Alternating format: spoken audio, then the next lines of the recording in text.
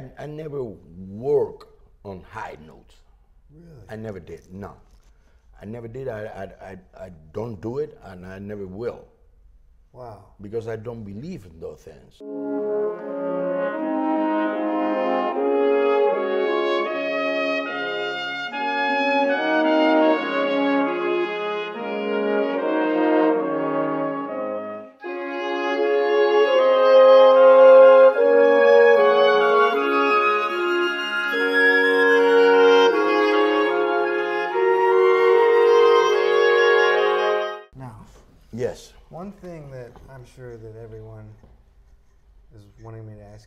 About your range and about how you developed your range and your advice on range. I'm not good with that. no, I, I mean, I'm serious. I, I, when I was start playing the trumpet, man, I remember I was playing for years. I weren't able to play high at all. No, I was playing for years and I was struggling to play the, the high C or a D or something, only about stop, you know. Yeah, and I, I, I, I weren't at all like a natural thing to play high, like other guys, you know, like Maynard or Wayne or those guys. They really, since they were young, they, they were uh-huh. able to play. That wasn't me. Really? No, no. I would have never guessed. It seems so natural to you. Mm-mm. Not at all. Not at all. No, no. What I strongly believe is I am a product of uh, strong discipline and hard work and dedication. Because um, and, um, I play low too. Mm-hmm. yeah, you play in the trombone range. yeah, yeah, yeah, yeah. For me, and I, I tried to know to to make every. Oh, oh, this is gonna gonna sound good with this.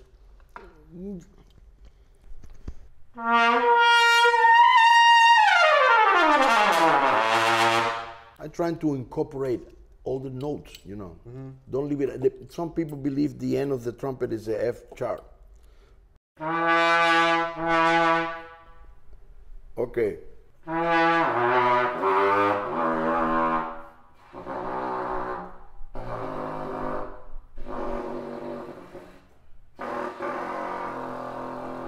It's like two more octaves down there, two more. Yeah, and uh, incorporate all those things to your regular playing.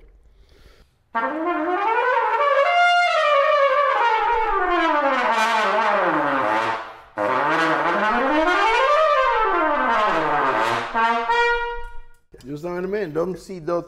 Actually, I don't like how the people call pedal tones. I see. I don't like that. I call that low notes. They're a little lower than others. For example, what's um,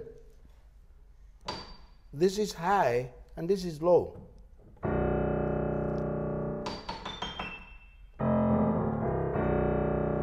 But um, we don't call this pedal. We call that low notes. You're right. Yeah, and um, my wish, my dream, is to have at least 88 notes hmm. on my disposable to hmm. use it hmm. on the horn. I wish.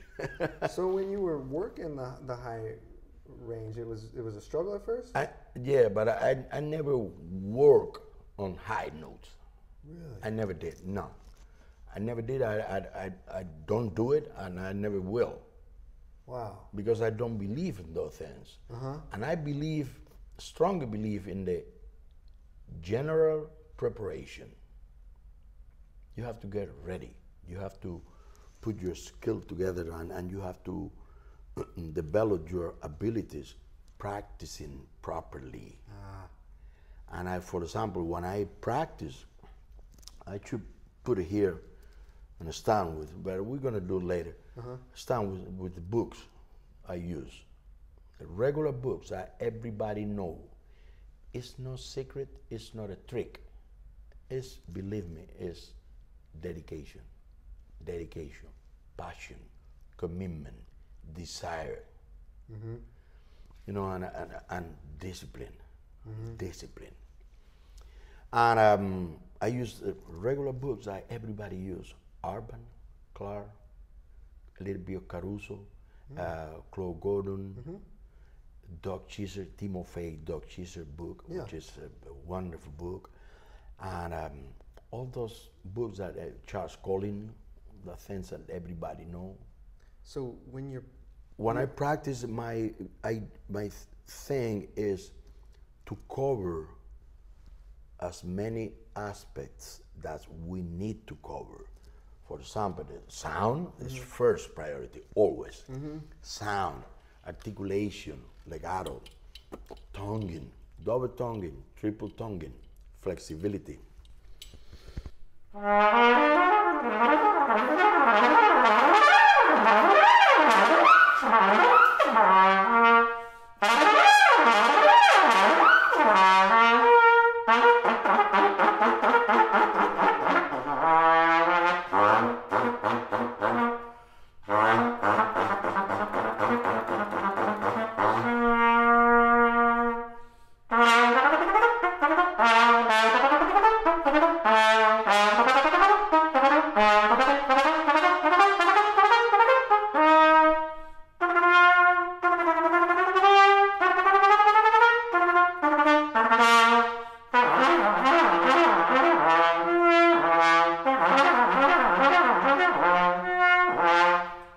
things you know all those kind of things we need to mm-hmm. because our mission is to be ready to be prepared. To do what? You don't know. When you're a professional musician you go to a gig or a recording session or something most of the time you don't know what you're going to find in front of you. And the only thing you could do to be safe is be ready. Be prepared to anything. Could be you could find a recording of um, you go to a session mm,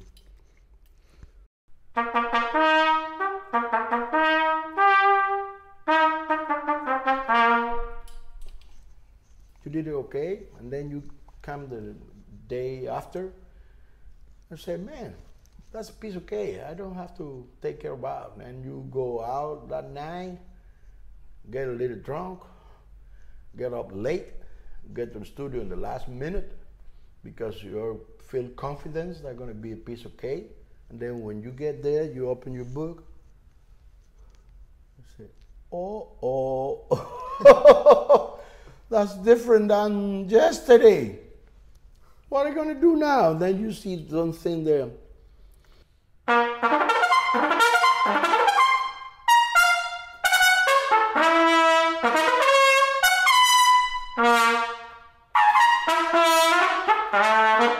And then because you didn't prepare yourself well and you mm-hmm. didn't warm up properly, and then you're going to be in trouble. And then it's only one thing to to be safe. Be ready. Mm. Be ready to do what, what we have to do. So when you feel that you're playing the trumpet efficiently, is that when you feel that the whole range of the horn will just come out naturally? Is or Uh, you know what Miles Miles Davis used to said? He he he, he said that uh, he he checked his F chart.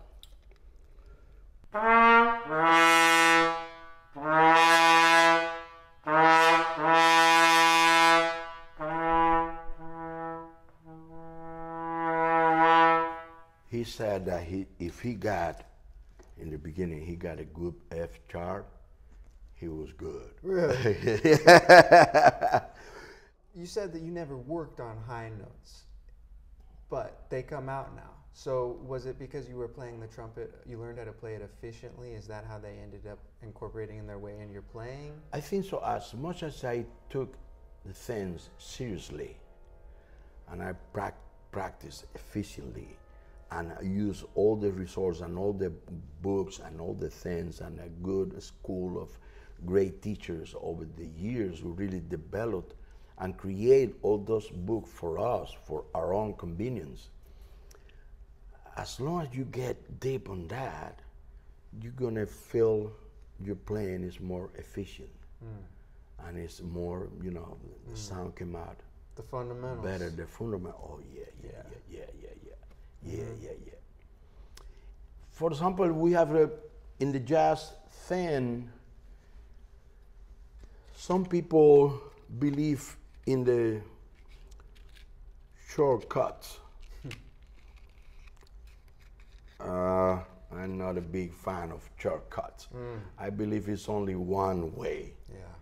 and is um, for example I, I, I, I got students in the past who were complaining in the school where I used to teach years ago that I was uh, they came to the office of the director of the school or something and complaining that I was teaching them classical music because we use the Arban and uh, you know Right. and Saint Jacome and all those Right. regular books. And uh, my reply was, "Excuse me, do you in this book here do you see